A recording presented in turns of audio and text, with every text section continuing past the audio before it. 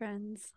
So I very nearly didn't record this today, but then I felt like it was my moral and spiritual obligation to continue putting my voice into the world, even when it sometimes feels like that voice is um, not heard or misinterpreted or misunderstood because regardless of physical manifestations, that is just an accumulation of beliefs that I've previously held about myself and how I will be received by the world. So I will not allow myself to be limited by that.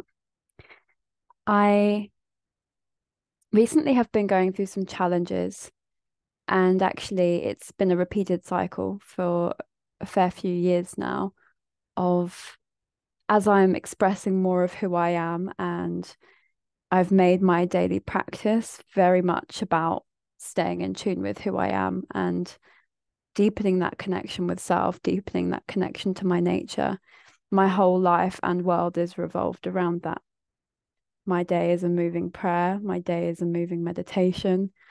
There is not a single second I don't consider that I am connected with source or spirit. And miracles happen everywhere I go, all of the time. And that can be really intense for other people who spend time with me. And I'm okay with that, actually.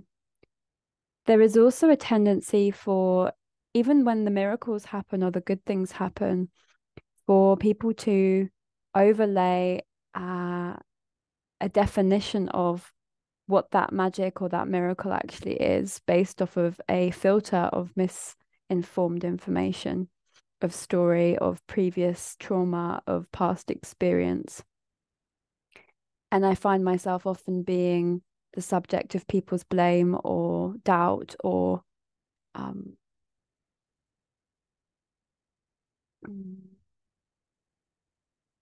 their negative energies. I become like a dumping ground, a spiritual and energetic dumping ground. And as someone who is deeply sensitive, I can always feel these things being thrown my way or sent my way. And I'm very adept now at not receiving it and returning it and saying, no, thank you. This is not for me. That's for you to sort out. Thank you very much. I have my own practices. I have my own reality, my own conscious creation.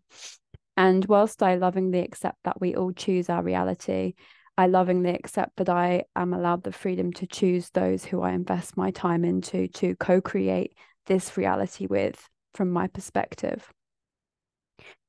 I'm quite happily choosing walks in nature and fusses with dogs over connecting with other humans sometimes, much of the time. And the reason I do the work I do, the, the reason I'm called into shamanic practice and tarot reading and energy work in general is not necessarily for my love of humanity, but for my love of earth, my love of nature.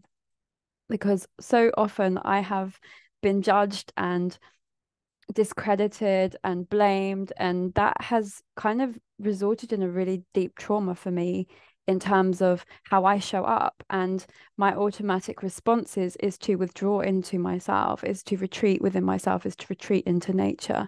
And that is a cycle that's happened again and again.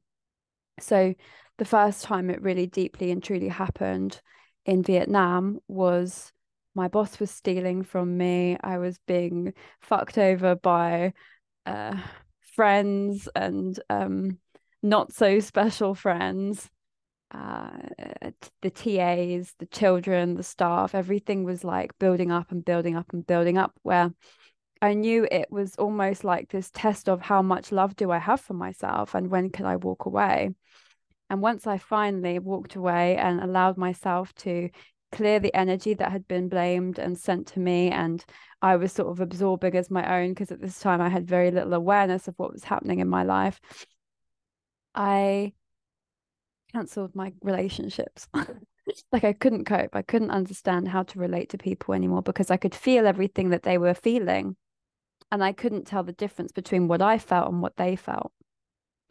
And a lot of my life has basically been that pattern of me believing that my emotions were other people's emotions. And as I've learnt and introspected. And I mean by introspected, I mean taken myself off grid for six months just to hear myself and feel myself and return to my nature and then return to my homeland and for about two to three years almost continuously put in place practice after practice after practice to hear myself deeper to understand more to clear cleanse align release clear cleanse align release. My energy is clean.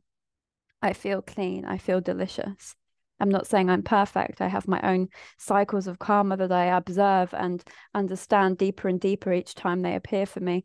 But I am, by all intents and purposes, quite an emotionally free person, quite emotionally liberated these days, which for me is a huge, huge, huge achievement. So celebrating me, celebrating me, because no one else is fucking gonna. So I might as well.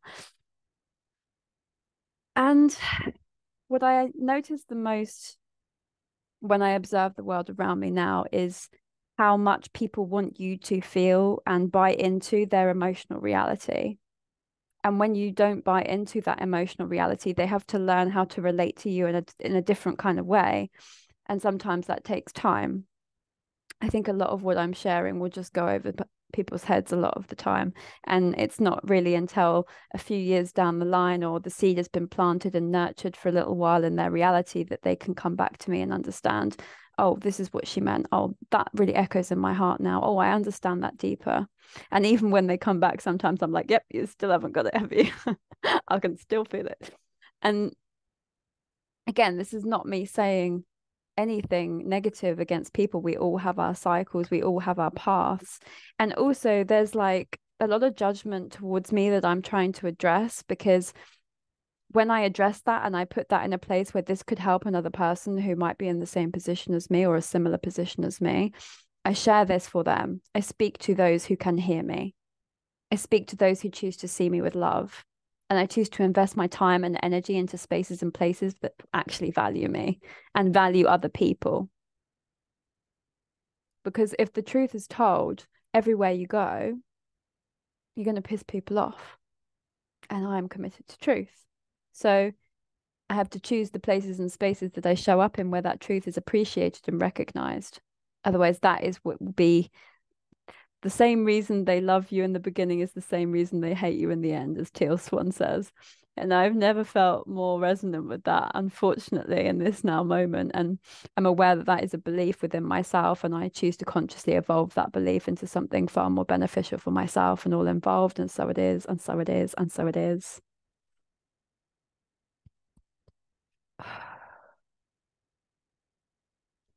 I am embarking on a process of my own initiation over the next 10 days. I'm unsure if I will document it right now. Part of me feels I should, and part of me feels like I just want to keep this for me. So we'll see.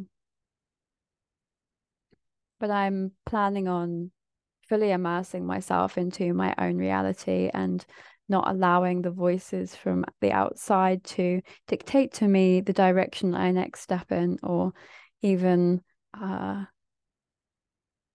disturb my peace. I just want some peace. I just want I want peace for a while. I want people not throwing their judgments and emotions over the the top of who I am or over the top of my words.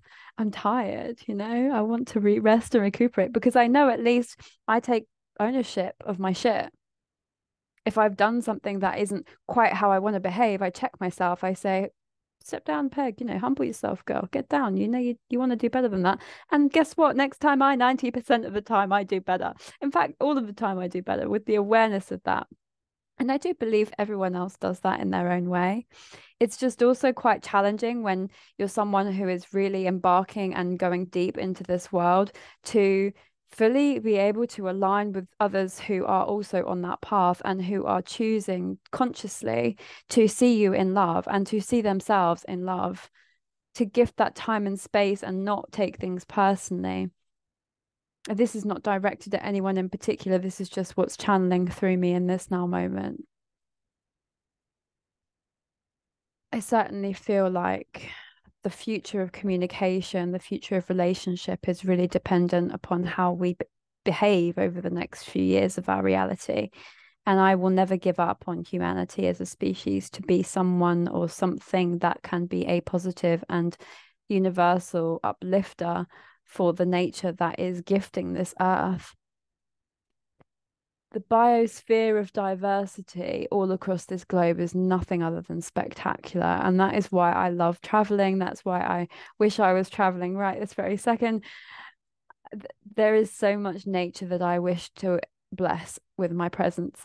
Um, blessed with my my witnessing of its beauty and share that frequency in a space and a place that is actually going to benefit from and appreciate the transition perhaps more so than the human friends that I've created at this stage of my life. This is a really deep wound for me and i'm honoring that i don't need to be perfect. I don't need to power through this and become some self-proclaimed successful coach or, or business owner and in the process leave a part of myself behind i want to make sure that all of me is taking the steps forward and thus these next 10 days are are going to allow me to feel and see more of if this path is really truly for me or if I'm being guided in a direction that might ultimately serve the planet and myself in a far deeper, more profound way. Regardless, this has been quite a lot of fun to explore and delve into. And yeah, I know that I've changed people's perspectives and changed people's lives. I know that one day with me or an hour on the phone is a truly transformational experience and I choose to transform through that experience, regardless of who is in the on the receiving end or in the other side of that co-creation. This next chapter of my life, I'm calling in people who can truly appreciate the gift of connection and who can truly see who I am, not just through a lens of pain and perception, but through an understanding of God and God expressed through other and through self and through connection in that moment, in all now moments.